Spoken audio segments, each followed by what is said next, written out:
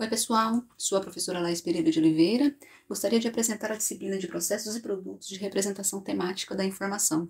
Essa é uma disciplina que tem 60 horas. O ementário vai perfazer o conteúdo relacionado à condensação e indexação, resumos, notações e índices dando continuidade ao que a gente vem estudando no curso de biblioteconomia, passamos ali por classificação, pelos sistemas de classificação, adentramos nas linguagens documentárias ali na forma de listas de cabeçalho de assuntos, de taxonomias, ontologias e tesauros, e chegamos agora no momento em que a gente consegue trabalhar com é, processos e produtos de representação temática. Então, além da classificação que foi objeto em outra disciplina, individualmente trabalhada em instrumentos ali de representação temática da informação 1, nós passamos agora a estudar outros dois processos nesse núcleo temático de representação, que é justamente a indexação e a condensação. E aí, é, entendendo esses processos como geradores de produtos específicos, na forma de termos de indexação e de resumos documentários. O nosso é, conjunto de conteúdos ele estará distribuído em quatro módulos. O primeiro, teorização e representação temática da informação.